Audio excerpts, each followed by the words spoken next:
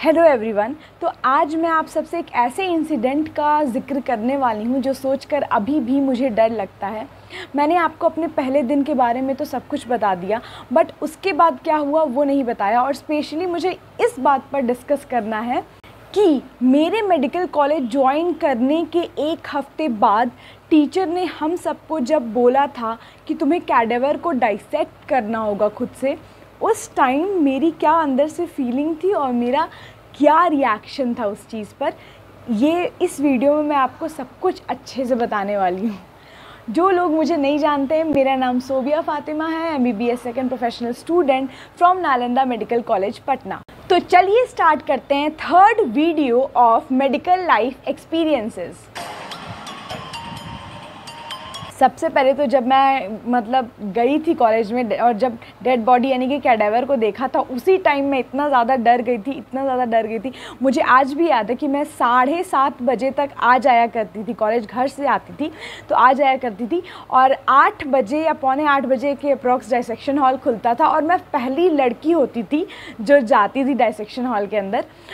मैं जिस सुबह जब भी डाइसेक्शन हॉल में इंटर करती थी तो बस मैं एक अकेली रहती थी और मेरे अलावा दो कैडेवर लेटे हुए रहते थे टेबल्स पर। और कभी कभी मुझे इतना ज़्यादा डर लगता था मतलब मैं जाकर अपने सीट पर बैठ भी जाती थी, तभी मैं पीछे मेरा ध्यान जाता था तो मुझे उन दोनों की मतलब शक्ल दिख जाती थी। तो ऑब्वियसली डर तो लगता ही है, डर सबको लगता है। और जब कोई नीट एस्पेरेंट होता है और जब उसका नीट क्रैक होता है और वो जाने वाला होता है मेडिकल कॉलेज उस टाइम सबसे बड़ा डर जो सबको लगता है, वो यही लगता है कि कैडेवर्स होंगे। तो बहुत लोग बोलते हैं कि बेहोश हो जाते हैं लोग। तो ऐसा क्या होता है या नहीं? बट रियलिटी ये है कि बेहोश कोई नहीं हुआ था मेरे क्लास में। मेरे बैच में तो कोई बेहोश नहीं हुआ था। मुझे आज भी याद है। जब हमें ग्रुप्स में रोल नंबर वाइज डिवाइड कर दिया गया था कि इतना से इतना रोल नंबर जैसे वन टू फिफ्टी एक कैडेवर के पास रहो, उसको एक टीचर टीम पढ़ाएँगे और दूसरा मतलब आगे का जितने भी रोल नंबर थे, हमारे में हंड्रेड स्टूडेंट्स थे तो फिफ्टी वन टू हंड्रेड बाकी में दूसरे कैडेवर में। तो मुझे याद है, जिस दिन हमें बोला गया था कि तुम्हें खुद से डाइसेक्ट करना होगा, उस दिन तो मेरी हालत ख़राब थी, मुझे देख ही के डर लगता था तो मतलब नाइफ से डाइसेक्ट करना बॉडी और वेन्स और आर्टरीज और नर्व्स ये सब देखना, वो सब सोच कर ही डर लग रहा था, लग रहा था, पता नहीं उस टाइम उतना नॉलेज नहीं था तो लगता था खून ना बहने लगे मतलब उतना नहीं अच्छे से पता था कि नहीं, ऐसा नहीं होता है। तो उसके बाद मैंने जब मुझे बोला गया था तो मैंने अपनी डाइसेक्शन किट लेकर आई थी अपने साथ। हाँ एप्रन भी लेकर आया था, क्योंकि ये सब बहुत इंपॉर्टेंट होता है, नहीं तो टीचर पूरा पॉइंट आउट कर देते हैं कि देखो तुम एप्रन नहीं पहनी हो, देखो तुम्हारे पास किट नहीं है तो तुम जाओ। हाँ ग्लव्स भी। ग्लव्स बहुत ज़्यादा इंपॉर्टेंट हैं। डाइसेक्ट करने की बात आई तो सर ने पहले खुद से थोड़ा सा करके दिखाया, उन्होंने ग्लव्स पहनी सबसे पहले तो फिर उन्होंने नाइफ ली, उसमें ब्लेड लगाया, उसके बाद उन्होंने मेरे सामने मतलब कैडेवर का जो ये क्लाविकल वाला रीजन होता है, जहाँ पे मसल्स रहते हैं पेक्टोरलिस मेजर माइनर उस ये एरिया को उन्होंने मतलब डाइसेक्ट करना शुरू किया।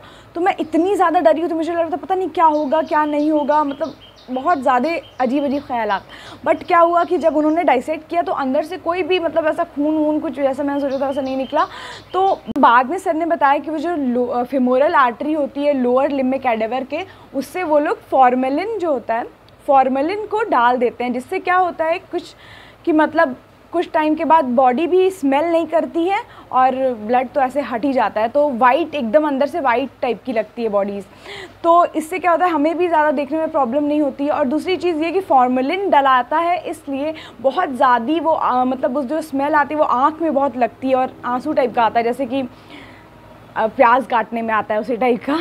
तो फॉर्मेलिन की वजह से जब भी कैडेवर को निकाल के मतलब लेटाया जाता था टेबल्स पर तो उस टाइम बहुत ज़्यादा बहुत ज़्यादा वही स्मेल आती थी और सबके ऑलमोस्ट आँख से पानी आने लगता था। और जब हम लोग क्लोज जाते थे, जैसे डाइसेक्ट करने ये सब, तब तो और ज़्यादा मतलब वो थोड़ा सा लगता है। थोड़ा सा तो स्टार्टिंग में आदत नहीं होती है। तो वही सर डाइसेक्ट करके दिखा दिए, तब लगा कि नहीं, खून वो नहीं निकलता है, पूरा अंदर से ठीक है।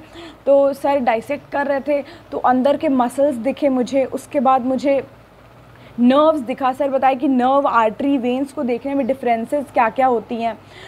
फिर सर ने कहा कि कुछ स्टूडेंट्स अब खुद से करेंगे डाइसेक्ट अब तो इसमें मेरी हालत ख़राब हो गई कि मतलब खुद से नाइफ पकड़ के मतलब काटना कैडेवर को सोच कर ही।